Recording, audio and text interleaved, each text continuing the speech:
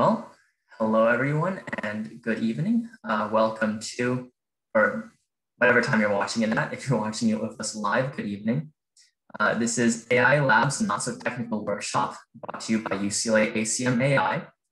And today we'll be looking at uh, some applications of artificial intelligence or AI for short um, in a kind of beginner friendly way. Oh, my audio is not clear. Oh, uh, is anyone else like, is, is it garbled for anyone else?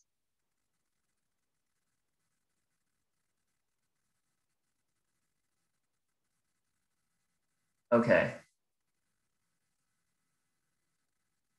Okay. Uh, oh no. it's getting better. Okay. I will try to speak up and speak loudly enough from my laptop microphone to fully capture my voice. and I, I, apologize if there are any audio issues. Um, but yeah, it seems like for some people it's having some issues. For other people, it's okay. So I'll just try to speak loudly and make sure that there's no issues there. So yeah, let's get started then. We're first going to talk about what is artificial intelligence and what is machine learning. Uh, and we have two definitions for you all. The first definition we're going to look at is for artificial intelligence or AI. And this is the theory and development of computer systems able to perform tasks that normally require human intelligence, such as visual perception, decision making, and translation between languages. And we want to highlight the phrase normally requires human intelligence because uh, as AI uh, tools develop and they become more sophisticated and more computers are able to do them, uh, we actually kind of stop thinking of things as AI uh, because it just becomes normal. But this is still a really useful definition because a lot of the things that uh, we consider to require human intelligence, like the three examples listed there, those are examples of what we currently consider artificial intelligence. And the second definition that we would look at is machine learning or ML. And even though machine learning and artificial intelligence often get used interchangeably in like mainstream media, they're actually two different things where machine learning is a subset or a type of artificial intelligence that provides computers with the ability to learn without being explicitly programmed. And what that means is we're still programming the computers, like we're still writing code, but we're not exactly giving like programming every possible instruction to the computer we want it to learn some things more or less on its own, if you want to think about it like that. And a helpful diagram is this kind of, uh, I don't know, bubble plot, I guess you could call it, showing that artificial intelligence is this larger uh, domain and machine learning is a subset of that. So some things that might fall into artificial intelligence uh, are if-else statements, decision trees, and data mining. Uh, this is not a comprehensive overview, overview. There are a lot of other things that can go into AI, but these are just three uh, fields that um, you can look into later if you are interested. Um, if else statements might sound like, oh, that's not artificial intelligence, that's pretty simple.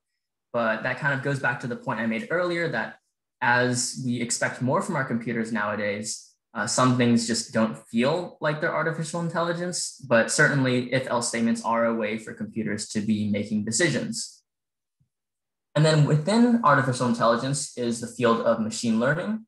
And some things in machine learning are supervised learning, unsupervised learning, and reinforcement learning. And in fact, a lot of machine learning practitioners and researchers will tell you that uh, these three fields kind of encompass everything that falls into machine learning. Uh, really quick overview of these three. Supervised learning is when uh, we have data and we also have quote unquote uh, answers to that data. And we want the computer to be able to match uh, certain patterns in data to certain answers. In unsupervised learning, we don't really have the answers and we want the computer to just extract interesting patterns for us. And reinforcement learning is kind of what it sounds like. Um, if you imagine like training a dog, uh, you would, you know, maybe give them treats every time they do something well. Uh, that's kind of like what reinforcement is doing. Reinforcement learning is doing.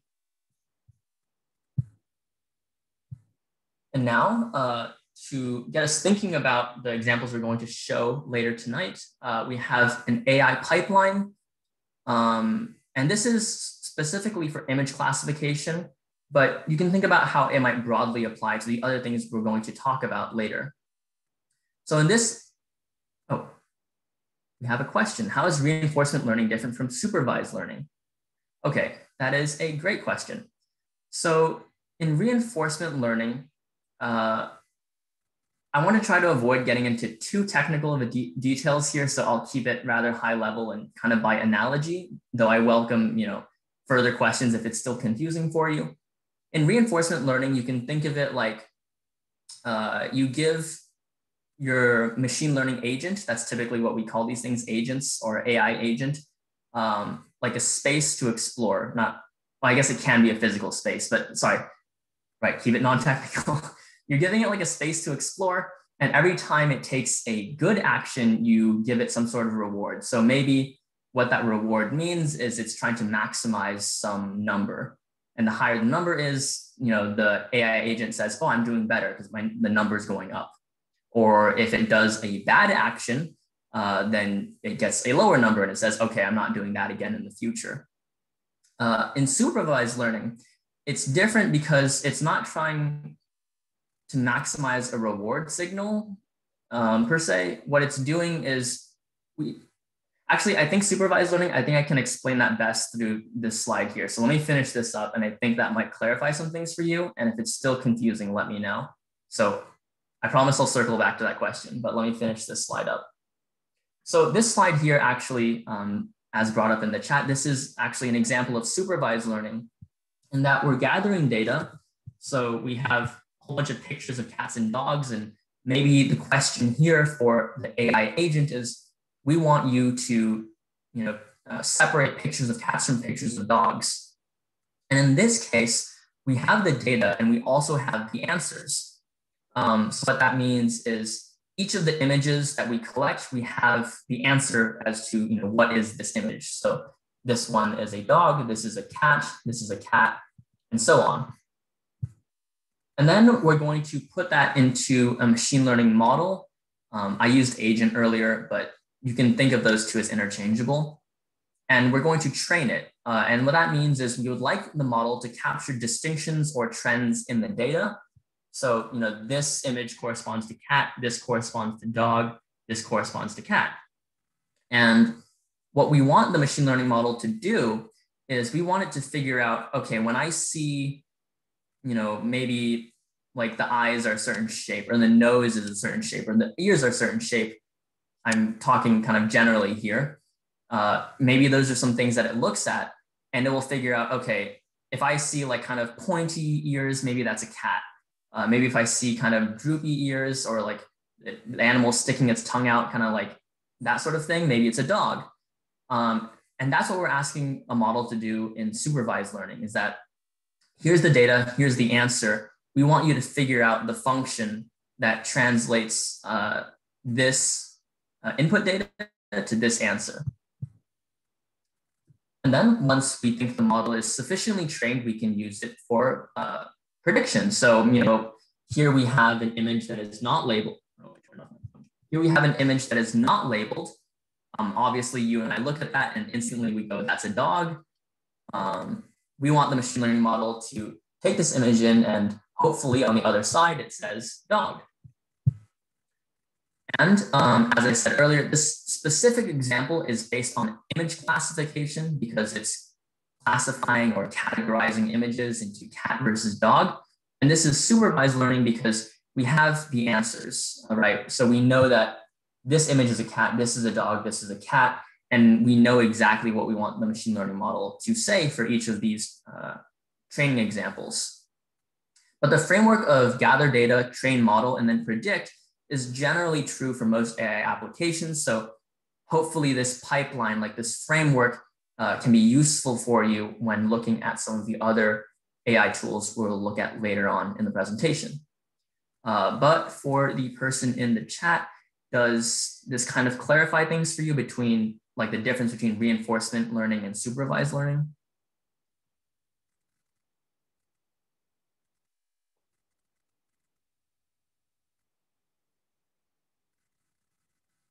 Not exactly. Okay.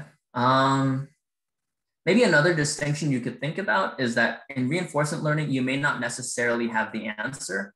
So one thing that I've been emphasizing a lot is that for supervised learning, you will have the answer in that this image is a cat, this is a dog, this is a cat. But in reinforcement learning, maybe we don't know uh, the best course of action for the computer. Uh, and to clarify, for this specific problem of classifying images, you know, maybe we wouldn't use reinforcement learning. Maybe you'd use reinforcement learning in something like a robotics application where uh, you don't have an answer. Like if a robot asks you, how do I walk? You don't have an answer, but you can tell it that is a good action or that is a bad action. And in that way, you're, you're reinforcing positive behavior. Um, so that's maybe another distinction that can help you. Uh, if it's still not clear, uh, you can, oh, okay, perfect, great. awesome. So let's move on then. Oh, and what do you know? Questions. Are there any other questions that people have about the things that I've gone over? I'll give it like, a, I don't know, 10, 10 more seconds or so.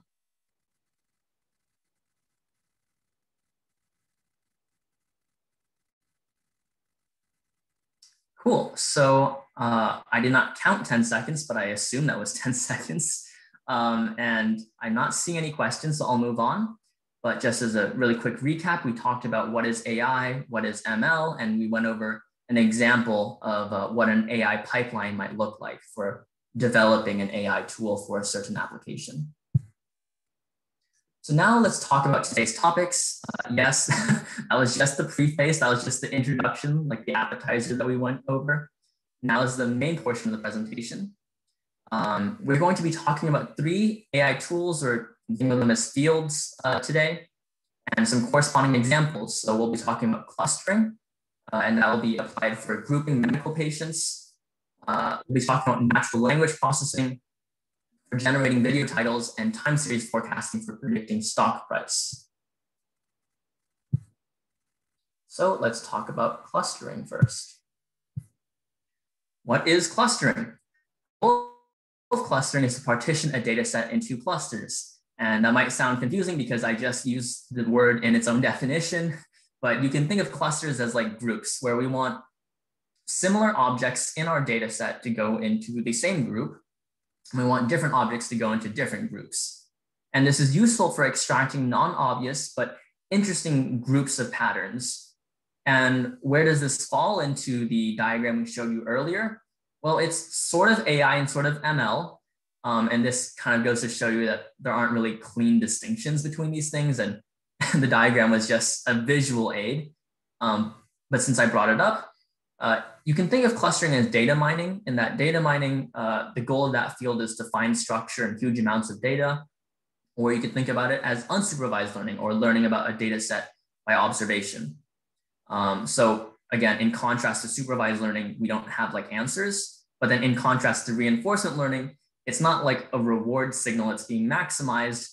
It's just trying to group similar things together yeah, sorry, the, these definitions can sometimes be a little vague, but I hope this helps give you a sense of like where on the map uh, clustering falls.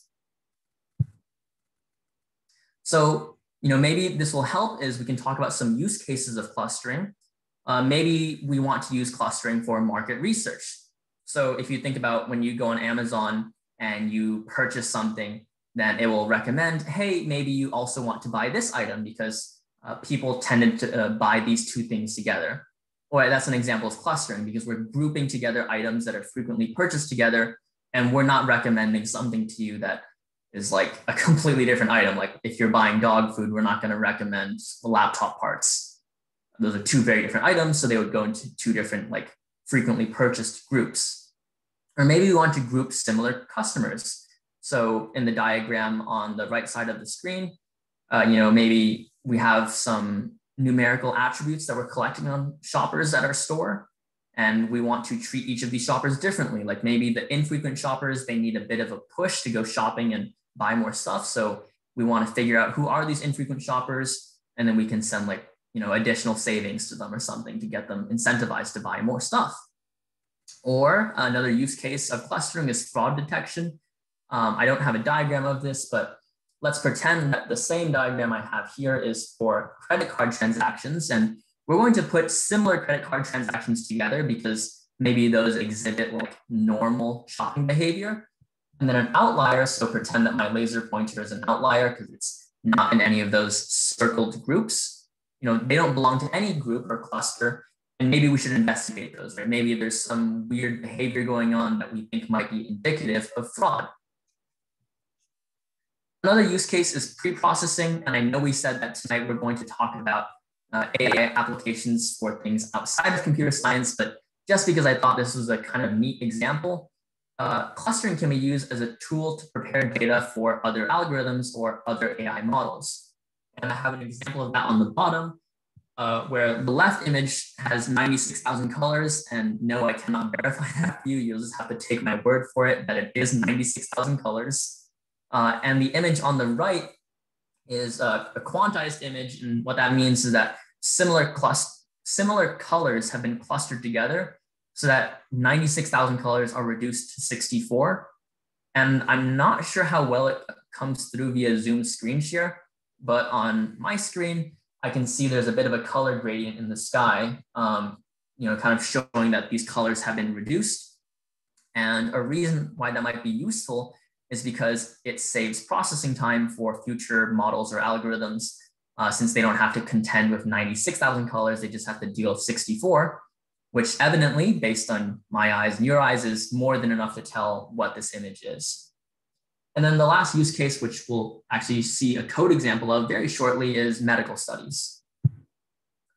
Some issues of clustering is that there you know, are different types of data. So everything I've said so far can be represented as numbers, and that is pretty obvious because you, you can imagine like a ruler between two points on like a graph. You know, the closer they are, the more you want to put them in the same cluster, the further away they are, different clusters, right?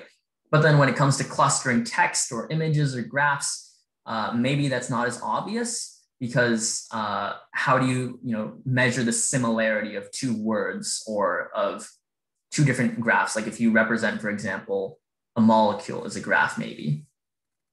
Uh, clustering can also be kind of hard to interpret, especially if data is really high dimensional.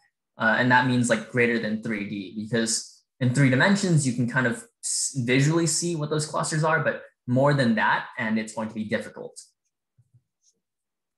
Um, there's also some issues in determining which clustering algorithm to use because a lot of them have kind of base like underlying assumptions. Uh, some assume that clusters are spherical, some assume clusters have the same density, and some need a human expert to set the right parameters. And what that means is that they're kind of like levers you can imagine. They're like levers you can pull on these algorithms. And depending on like what setting you put them at, uh, they can generate different results actually. And there's also an issue of scalability and that data sets with millions of data points are common. Uh, we're not going to look at that tonight, but you can imagine for a company like Amazon or Facebook, you know, they have millions of users their data sets are huge, and that can actually even be troubling for computers to handle that much uh, data. Okay, I just went over a lot about what is clustering. Um, before we get into the example, I would like to pause for questions here. Anything that I talked about that was confusing? Are there any use cases of clustering or things that you think clustering might be useful for, you know, that you'd like to share? all of that, you can bring that up.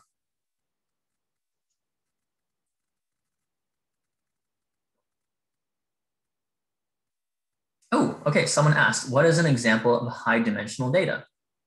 We're actually going to look at that in the example, but uh, to give you a preview, the example data set we're going to look at is uh, medical data. And for each patient, they measured uh, 19 attributes about the patient, like different traits, I guess you could call it. Uh, and that is an example of high dimensional data because you can think of each of these attributes as its own dimension. And I don't know about you, but I cannot see into 19 dimensions. So that is something I cannot visualize the clusters for. Yeah, that's an example of high dimensional data. Does that help? Yeah, great, thank you. Uh, I'll give it a few more seconds to let people ask questions.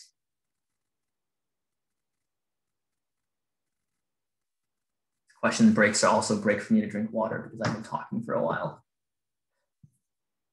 Okay, I'm not seeing anything, but again, if you do have questions, please, please, please feel free to drop them in the chat and uh, I'll address them as they come up. Oh, right, so before we get into the code, I do want to like provide a bit of meta commentary about what it is we'll be looking at because I think it can be useful to help us understand the code a bit better. So first, we're going to talk about Python, which is a very popular programming language, especially for data science and AI machine learning applications. And it's also pretty easy to pick up. There's a list of learning resources that can be found uh, at that link. Um, yes, we just sent a link to a document in the chat that will have, uh, I guess, links to all of these things that I'm mentioning in the presentation. So this uh, learning resource for Python should be there as well. And like other programming languages, the thing that's important for us today is that Python has things called libraries. And what libraries are is it's basically code written by other people to make our lives easier. Um, kind of like uh, you can think of it like a recipe book, right? Like you don't have to learn how to cook, you know, a recipe from scratch every time you've got a recipe book. Someone tells you here's the instructions. Or maybe a more pertinent example is you want to make yourself like a sandwich, you don't have to make the bread yourself. You can just go and buy bread, um, something like that. So some useful libraries for data science are scikit-learn, NumPy, and pandas. Um, and there's a few other libraries that we'll look at uh, later on in the presentation, but these are three that are relevant for clustering that we will be using. And then what is Google Colab? It's a tool for writing and executing Python in your internet browser and that is fantastic because that means you don't have to set up anything on your own computer and fiddle around with computer settings. You can just run it in like Google Chrome. And what Google Colab lets us do is it creates files called notebooks. These contain your Python code along with any non-code notes you write, you know, which is why they're called notebooks. And we'll see this shortly. Overall, just a really great resource. Uh, you can find a tutorial on it at that link, which again is in the document we sent in the chat. So now back to the presentation.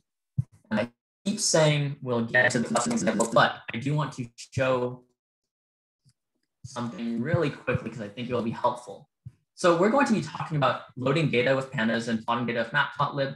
Um, those two not students will not be the focus. The focus will be on distance-based versus density-based algorithms. And what does that mean? Well, I think it's best explained visually.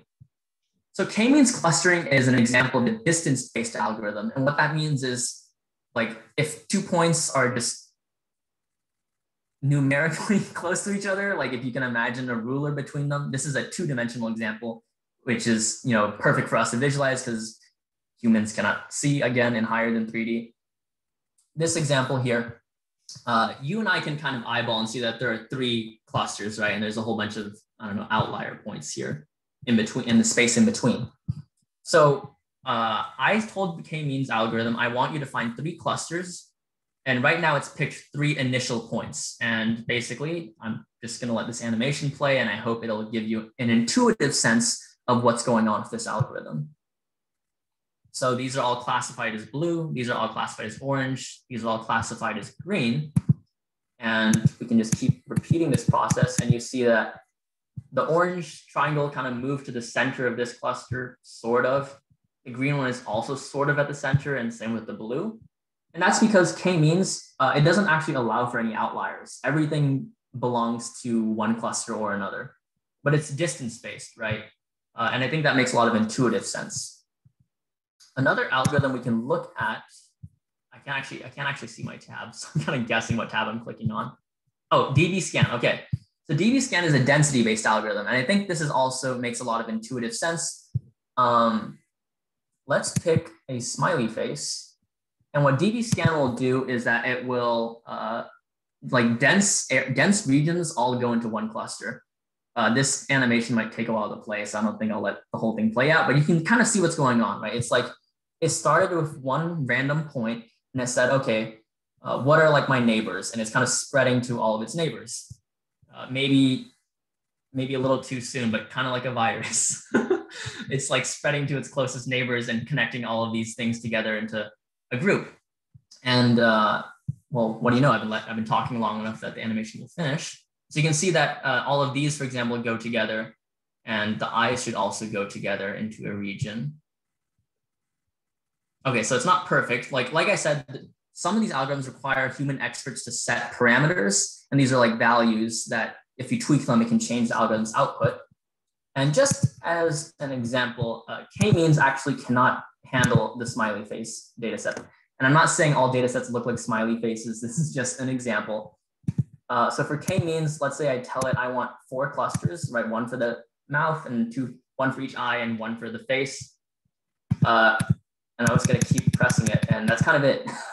k-means will not get any better than this because it's distance based and it's kind of saying, okay, these all kind of close enough to each other. So yeah, that's kind of what we're looking at with that. Now to get into the data set, we're not going to talk about all of the code in super intense detail, but uh, this notebook should be available at the doc we link in the chat so you can totally read all of my wonderful, wonderful comments on your own time. But really quickly, so this comes from the UCI machine learning repository, and this is a cervical cancer behavior risk data set. Uh, there are 72 patients in this data set, and there are 19 attributes for each patient. So sexual risk behavior, eating behavior, personal hygiene behavior, and so on. Uh, honestly, I don't know how they ranked people according to these, but we'll just take their word for it that these are appropriately scored. Uh, and these are all numerical attributes. We're not dealing with any weird data. And then we also know for each patient whether they have cervical cancer or non-cervical cancer. Uh, this unfortunately is not always true of clustering applications. Sometimes you don't know the answers. In this case, we do. And our guiding question is, can these 19 attributes be used to predict whether a patient has cancer? And we want to basically see like, can clustering determine that uh, these behaviors all, when we, when we see these behaviors, we think that this person is going to have cancer. When we don't see these behaviors, we think they won't have cancer, right? So you can ma- imagine those as two separate groups. Uh, so we're going to use the pandas library to import our data. And pandas also lets us examine the data right here. So here's a preview of the data. This is the first five points, and you can see the 19 attributes and also at the end, you can see that all five of these have a one in the cancer column. So that means that all five of these patients have cervical cancer. You can also look at like a statistical summary, but we're going to skip over that. And let's pretend that we are uh, someone who's never heard of AI before, never heard of clustering, right? You're maybe some doctor and you're interested in finding out can I group patients to better predict whether or not this patient will have cancer? So you pick two attributes kind of at random and you try to guess, okay, does this look like it's going to cluster well? And unfortunately, it doesn't seem that way, at least not to me. Uh, by the way, in case it's not readable, the blue points are can- uh, no cancer and the orange points are uh, has cancer.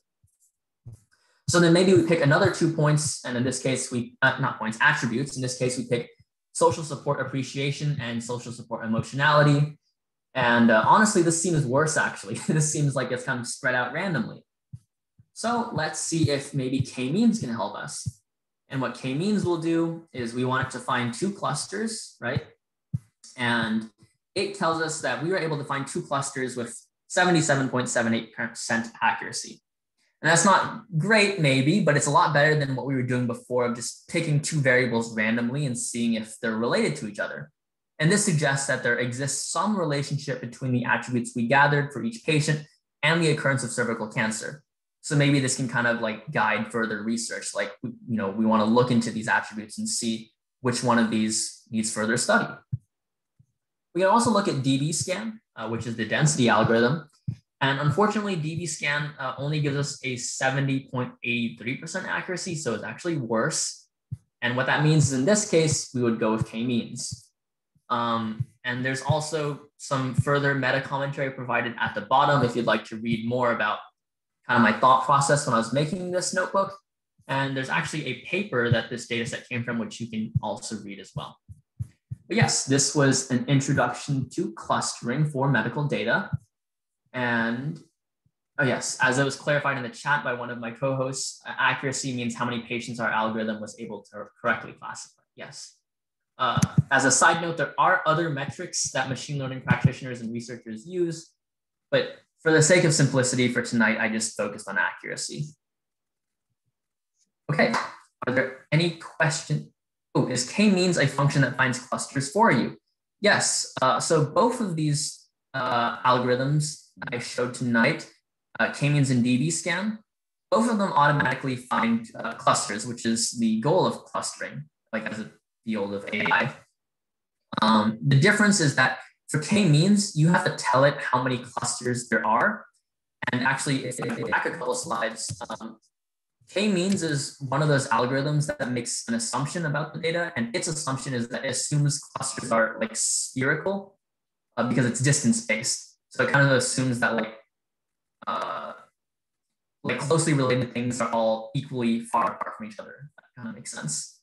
Um, and then dbScan, unlike k-means, we do not tell it how many clusters we want. It can actually automatically determine that.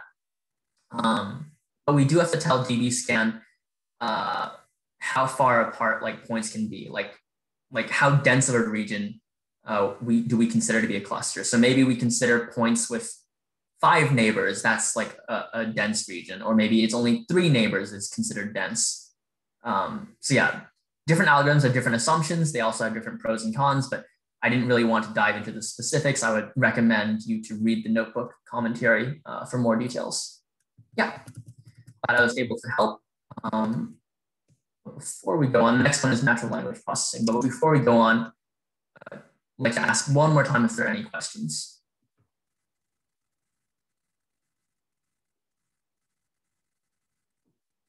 Okay, I'm not seeing anything, so thank you very much. Uh, and I hope that was an interesting introduction to clustering for you all. And now it's Amin, yeah. Um, just want to make sure you can see my screen, Jason. Yeah, I can see it. Okay, thank you so much, Jason. Um, we'll be moving on to natural language processing now, and we have a super fun example lined up for you. Um, so what is natural language processing? It is, it is kind of the subfield of both artificial intelligence and linguistics. So it involves studying and analyzing different pieces and different um, corpuses of text. And the goal of natural language processing is um, identifying sentiments, meanings, um, creating your own, uh, training artificial intelligence to create your own sentences, your own um, articles, for example. And there are two main branches of natural language processing. Uh, the first one is natural language generation. That is where you train an AI to create some meaningful and comprehensible um, text. Um, and there's natural language understanding, where you train an AI to understand what someone is trying to say through a sentence. So that would, that would involve studying its syntax, the semantics, uh, stuff like that. So um, what are some use cases for natural language generation? For example, you can train an AI to write news articles and blog posts for a news agency. And um, so, so imagine that there's some incident that takes place at maybe 3 a.m. at night. And instead of waking like um, a writer up, a news agency can just uh, switch on their computer and um, get that get their AI to um, write a report on the incident.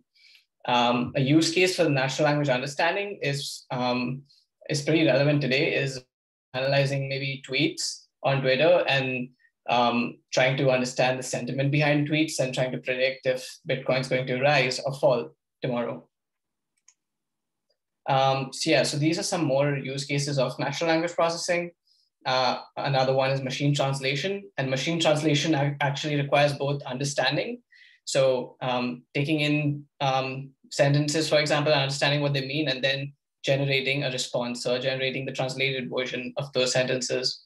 There's also information extraction. So if you have a bunch of documents, you which you which you don't have the time to go through, you would uh, you could possibly um, run an AI model on it and get get that AI model to extract all the important information. Um, so just like any other um, any other AI uh, method, there are a lot of issues that come with natural language processing. Um, the first issue is sarcasm. Um, so um, this is an example sentence. Um, you lost your you lost a only key. Amazing job.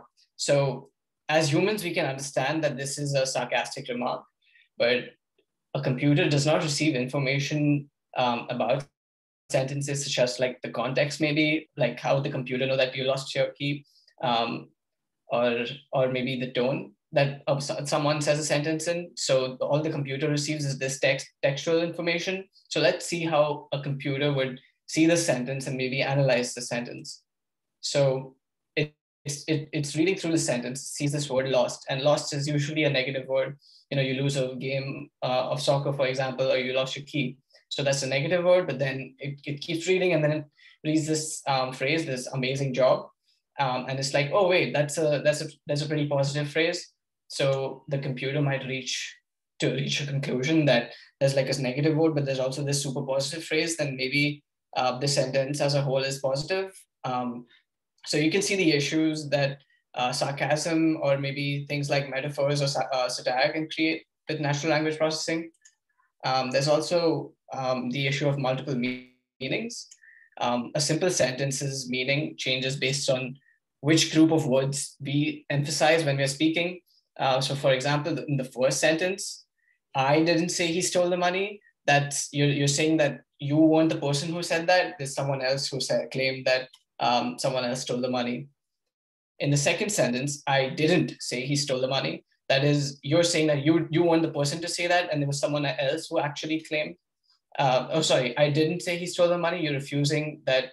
You're refusing um, the claim that you said um, that someone stole the money. And in the third sentence, it's I didn't say he stole the money. So um, maybe you maybe you said that someone else stole the money and not not him. So you can you can kind of make out that even for us, these sentences can be confusing, and and a computer has no idea which words you're emphasizing when you're speaking. So this is another huge problem which with natural language processing. Um, this third issue is kind of applicable to all machine learning algorithms which take in um, data. Um, so this, there's this really popular phrase in machine learning. Um, your model is only as good as your data. And what happens is if your data has certain biases, um, your model is going to train on that data and then it's going to make biased predictions or yeah, it's going to make biased predictions, biased classifications. Um, so there was an NLP model was actually given a whole bunch of documents and it was asked to categorize um, uh, words based on occupations or roles. And um, it was supposed to categorize words closest to the word man and the words, words closest to the word women. And some words you can see from this um, word cloud. Some words closest to man were thug, engineer, or geologist, and some words closest to women were um, receptionist, nurse, and a prostitute. Um, so you can see that natural language processing is just basically an algorithm. It doesn't know that the data is biased. So it's just going to pick up on all the biases in your data, all the stereotypes. Um, there are also, um, these are this, these are word clouds of adjectives used to describe a man or a woman. Um, I'm not going to read more of them because it can get pretty, um, pretty biased and pretty disrespectful. But you can see that stereotypes and discrimination of the past can get embedded um, through data. And, and then when your algorithms are trained on this data, they can create even more um, biased output. And so now I have this final activity. It's like, so I'm going to read this um, article out and it, um, so, I'm just going to read this out. Mining company in talks to extract resources from the moon. It's written by someone called Anne Smith. Um, the plan is first miners getting closer to going to the moon. A group from North Carolina would use a state-of-the-art gravity tractor to pull heavy rocks and other materials to the surface to be mined. Okay, so this seems like a pretty normal um, article. It, it doesn't really uh, it doesn't really seem abnormal, but guess what? This article is actually written by an AI. So so this again creates another issue, and that is uh, the issue of misuse and misinformation. So just like uh, pretty much any other uh, AI model or machine learning model, uh, it comes with it, NLP comes with its fair share of controversial use cases. Um, you can you can have an AI create a bunch of fake news and spread it over the internet. Um, and that can lead to a lot of problems. So we need to be careful and somehow needs to be re regulated by um, central agencies. And now we should move on to the fun example that we have for you. And um, before we do that, I'll, I'll um, entertain any questions that you have about natural language processing um, or any of the issues we discussed.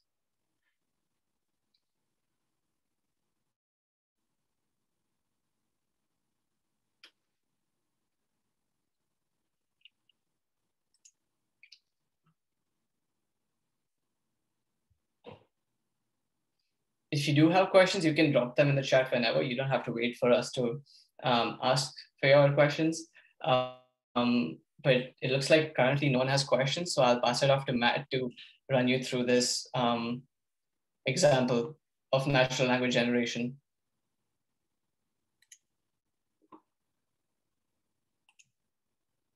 Alrighty, cool. Thanks, Simon. So yeah, we're gonna do a quick example on natural language generation. Um, it's kind of lighthearted.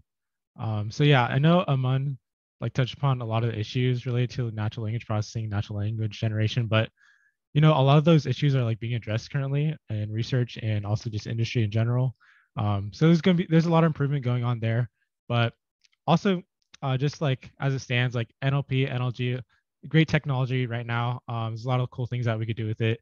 And one of the applications that I decided would be cool to share is um, generating fake BuzzFeed titles. So if you've watched YouTube in the past, you know, like 10 years, five years, whatever, um, you may have heard of a channel called BuzzFeed. Um, they're kind of known for their kind of out there crazy videos that are kind of like clickbaity, fun to watch, or whatever. Um, here are like example of a few of them if you haven't watched any, but like three dollars sushi versus two hundred fifty dollars sushi. Um, you know, one dollar street food. Um, one of my personal favorites like is when professional dancers try the Fortnite dance challenge. That's a good video. Um, but yeah, they're known for like their clickbait titles. Um, some of the titles are kind of like crazy or out there. Um, but basically, our goal is to use natural language generation to try to generate our own um, BuzzFeed titles. So this Colab will kind of run through it. Um, I'll briefly go over it, but if you're interested, um, I'm sure our link that we sent earlier in chat will have a link to this. Um, so you can take a look at it in your own time. But yeah, so like Jason said earlier, um, when we're talking about an AI pipeline, our first goal was to gather data. So our first goal here is to gather data. And I won't go into the details of it, but um, this code cell right here, if we run it, um, it'll generate or it'll get a list of all the BuzzFeed uh, video titles um, on YouTube. So that includes like their main channel or also like the other channels that they have. So that's our first goal, just to gather the data. And if we take a look at the data, um, there's like 23,000 videos that they have, so there's quite a bit. Um, some of these are kind of crazy. Um, I don't want to like go into a few of them right now, but if you're interested, like go and take a look at in your own time. But yeah, all these, this, yeah, I just printed out like list of all the videos that they have. Um, there's quite a bit, so yeah, you can take a look at that in your own time. Then, so like once we get the data, um, our next job is to train the model to recognize um, the trends in the data. So like Evan mentioned, for natural language processing and natural language generation, our goal is to try to like capture like the trends or capture like the the antics um, that are in like you know the text. So like for example, like for BuzzFeed, a lot of the titles are kind of like funny. You know, some of them are sarcastic, but a lot of them are trying to like garner attention of the audience. So we kind of want to capture that in our natural language generation model. And the way to do that is we want to train our model to kind of recognize those trends. So this is what this code cell is doing right here. Um, this one kind of like runs for a long time because um, when you train an AI model, um, it kind of just takes a while for you know the computer just to like kind of like get those trends or capture those trends. But over time, um, it'll be able to do that. So this is what it's what it's going through right now, and I'm I'm currently training it right now, and it's been running for like 20 minutes. Um, but here are some of the titles that it's like produced so far. So this first one right here was kind of like a new one. Um, this is one it was like at the very beginning of training, so it wasn't too great. Um, but so it's like Blank's new crush. Um, and to me, that kind of sounds like a BuzzFeed title um, a little bit if you like add someone's name right here. But it's not like too great, but at least it's gathering like some of the trends. Then this was one from like a little bit like further into training. It was like blank for back to school girls. Um, you know, maybe that's I'm not sure what BuzzFeed channel that's from, but um, that sounds kind of like a BuzzFeed title. But as you train more or train longer, um, typically like the titles or whatever you're doing, um, the like the language will sound better or sound more like what the actual data that it came from. So as we train longer, I'm sure like we'll get some titles that like sound like more like BuzzFeed titles. So this is kind of like a lighthearted notebook about like natural language processing, natural language generation. And like Aman said, like this can be applied to like anything, um, just like writing an article or just anything that has to do with language. Um, this is a great technology. And if you see like uh, in general, like this Colab isn't too long. So what's great about it is that um, for this particular Colab, um, we imported a library. And if you forgot what a library was, um, Jason mentioned that earlier. A library is basically like uh, people, other people write code, and basically we could just copy that code, so we don't have to like recreate it. So it's like we don't have to reinvent the wheel. Um, so we just basically use someone else's model that they created and just like plug and chug our data, and which is great. So it just basically means that we don't have to write as much code. So if you're if you aren't too comfortable with coding, um, this is great to know because then you just have to write a few lines of code or just know how to write a few lines of code. Then you can apply natural language processing to whatever field um, you're interested in. And so yeah, like I said, this um, code cell right here, it's currently training. Um, so it's gathering like the trends of the BuzzFeed titles. And down here, this is like the last code block. Um, these are some of the titles that it generated towards the end, like after training. And you'll see some of these kind of sound like BuzzFeed titles. Um, so some of them actually are BuzzFeed titles, which is kind of interesting. Um, I think this one is one of the like a real BuzzFeed title. And yeah, you might be wondering why, like, how come it's like copying some of the titles? And so if you remember what I said earlier, there's a total of like 23,000 BuzzFeed titles. And that might sound like a lot, but for a machine learning algorithm, 23,000 like may not be too much, um, especially for uh, like a natural language processing um, model. So for like a model to like perform really well, um, it's better to have like as much data as you can. Um, so in this case, we have like 23,000 like titles, but it would be like better if we had like 100,000 titles. That's what that that why so like the model can like see more variety um, titles. Um, because like if you only have like one title, say like if we like take it to the extremes, say there's only like one title that the model can look at, then it'll probably just copy that title over and over. It won't see like a variety of titles. Whereas like if we have like a 100,000 titles, um, we'll be able to see like a variety of titles and like try to um, better get like better like see like the trends in the titles. So that's probably like the main point I want to leave with you today for this Colab. Just like the more data that you have, whatever machine learning model you're doing, um, the better it'll end up being. So yeah, this is this Colab. So this is basically NLP, NLG, um, the extent that we'll go to today. But if you have any questions, please feel free to ask them in chat right now uh, before we move on.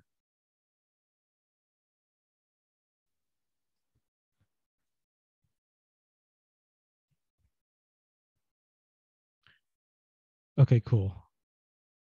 Seeing done, I'll move on to the next section. So this is our last section today. Um, it's time series forecasting. I know we're getting close to seven, so I'll, I'll kind of make it quick. But yeah, this is time series forecasting. So what exactly is it? Um, so the goal for time series like forecasting is to use trends in historical data to project uh, future data. So this is useful for like making predictions about fluctuating values, for example, like stock prices or weather. Um, we'll get to that in a sec. And it's a form of supervised learning. And so if you remember what Jason said earlier, supervised learning is a form where we're given data, we're given data and like the answers are labels. And our goal is to try to find the trends or learn the distinctions between the data. And so, yeah, this is what time series analysis is. Um, it's a form of supervised learning. And yeah, like I said, it uses past data to help predict the future. And generally, it's a part of a bigger subset of AI slash math called time series analysis. But today we'll just be focusing on one of the more popular algorithms for time series analysis, which is called ARIMA. So this is like a short description on how ARIMA's ARIMA works. It's kind of like high level. So we can think of ARIMA as like windows. So we could look at windows of historical data and try to capture the trend that they lead to. So if we're given like this um, history of a stock price, we can look at this first window right here and we can see like, okay, this trend right here, like it could lead to like this um, downward trend.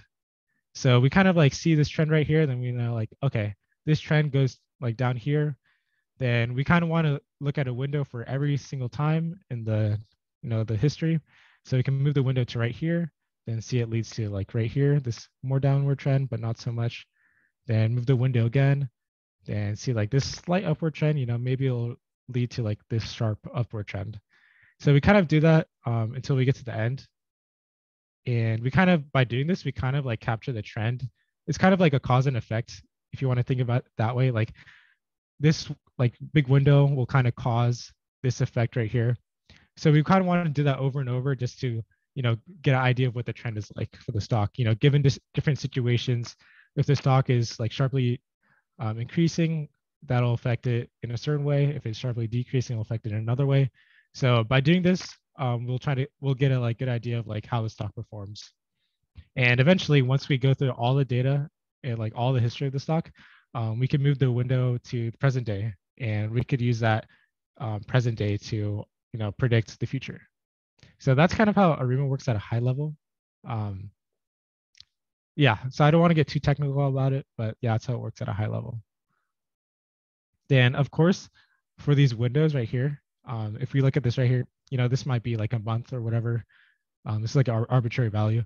Um, you could increase the window to like consider more of the past data um, to help predict like this sliver uh, in the future, or you could use less. So you could vary that however you like.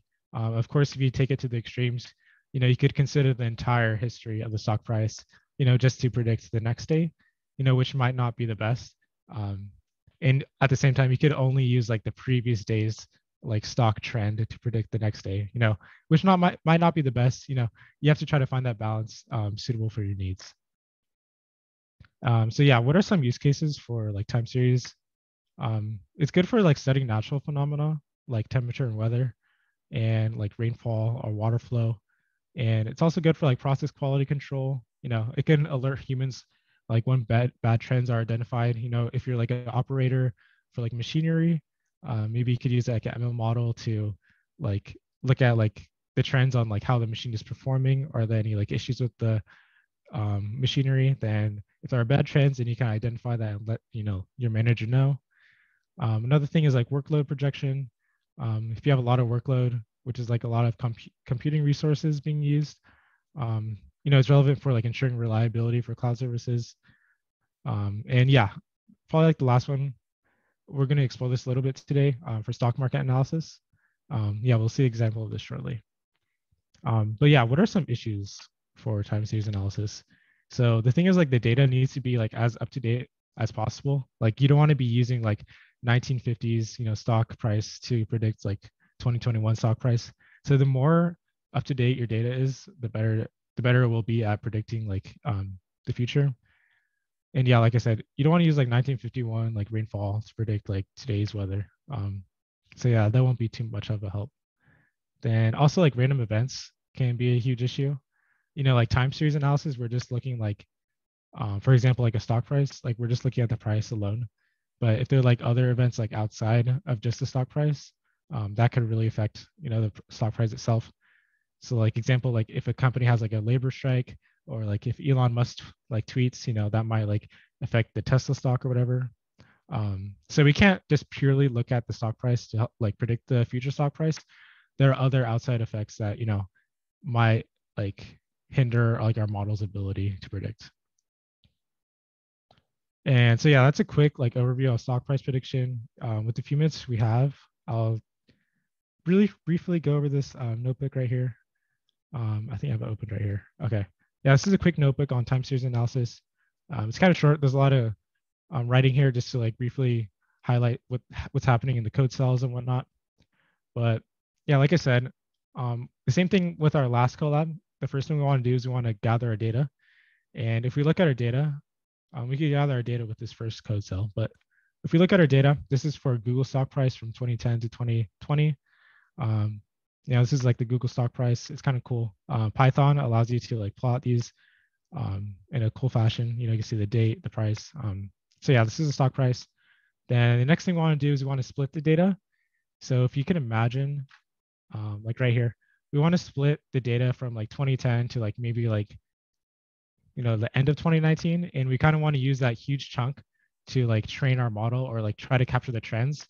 Then for like, you know, like the last month or so, we kind of want to take that out and we want to use that last month to like help evaluate how well our model did at predicting. So like we'll take that last month out and our model will try to predict what happens in that last month and we'll compare it to what actually happened. And uh, making that comparison just like tells us like how well our model did at like predicting this future stock price. So that's why we're splitting the data. Um, then like I said, yeah, the next step is always to train the model or like capture the trends. And to do that, we'll run the ARIMA algorithm that I briefly talked about. So what this is doing is it's basically going through ARIMA, capturing the trends, but it's also finding like the optimal window size. So I talked about like the varying window sizes, like the small windows or bigger windows. So it's finding like the best window size um, that predicts the future stock price. And we found that the best window size is three, which is um, correlates to like three days. So yeah, this is like training our model. Then here are some like plotting functions. Like I wrote, um, we're just running. This is kind of like a library. You can think about it. Don't worry about it too much, but we could use those functions to like help predict, like plot our model's result. So this is like this is the, what actually happened. Then towards the end, it's kind of small, but the blue line is what actually happened, and the red line, which is kind of straight, is what our model forecasted. And the red area is kind of like the confidence interval. So this is kind of like small. So let's kind of zoom in a little bit. And we could see that, you know, here the blue line is what actually happened. And the orange line is our forecast. So it's not perfect. It's not like super aligned with what actually happened, but at least it was ap- act, like able to like capture the trend, like the slight upward trend, um, which is good. And you know, we, this is like this kind of passes the eyeball test, but you know, we could take it a step further and like add a metric. So one of the metrics that we use is called um, root mean squared error, and to like demonstrate it a little quickly, um, root, what root mean, root mean squared error does is kind of like it kind of looks at the like stock price for a given day, and it looks like the stock price for that given day, like the the predicted value, and it kind of like looks at the distance between the two. So like right here, we see like you know, there's a distance right here. And so that would be like our error for that particular day. And if we calculate the error for this uh, particular chunk, like this, I think this is like a, like a month span, then we just want to add up all these differences between the predicted and what actually happened. So like once we add up all this together, um, that will result in our error. So if we go down here, um, we define the, you know, we define that down here. And another thing too is like root mean squared error. It it squares that difference. Then after it squares that difference, it adds them all together. Then it takes the root, the square root of all that of the sum, and that's basically our error. And we can take the root mean squared error of our model, which is ARIMA, and we see that it's um, 30.43. And we could actually compare it to another model called naive. Um, it's not a model, but basically what naive is it's just a random walk so like on a, any particular day there's like a 50 50 shot that you know goes up or down and we see that right here that comparing both of them together that you know arima and naive are like pretty close which um isn't like too great. So that just goes to show like this time series model like might not work too well on like the google stock. And that's kind of like one of the big points i want to make too is that like when we're going over the issues like we said that like a time series uh, model like it might not be perfect because there's other like external factors that might affect the stock other than just you know like um, historical trends. So you know even like these models might not be perfect um, they could be used to like they could you could combine it with like other things like you know twitter data or other things like that to like form a more accurate model so if you're more interested in this um yeah again we'll leave a link to this Colab um in the chat but yeah, I know it's 7:03 right now. We're over three minutes, but this was the last presentation or last Google Colab. But yeah, thank you again for attending. Um, we would really appreciate it if you fill out the feedback form. Um, we'll leave it in chat right now, the feedback form. Then also, if you're like more interested in AI or want to get more interested or into like the technical stuff, um, we have a beginners track workshops that are 7 to 9 p.m. on Tuesdays. Um, but if you don't want to look into like the technical stuff and you want something non-technical, we also have another course um, called like AI ethics course. We partner with ACM Teach LA, and that course talks more about like the ethics or like the issues, like some of the stuff we touched upon with like NLP, um, just like ethical issues. If you're interested in that, we have a course for that. But yeah, we have a lot of resources. Um, then again, as you're going through the Colabs, if you have any questions, please feel free to reach out to us. Um, we're more than happy to help you. And yeah, thanks again for coming. Um, then yeah, if you have any questions, please feel free to ask them in chat.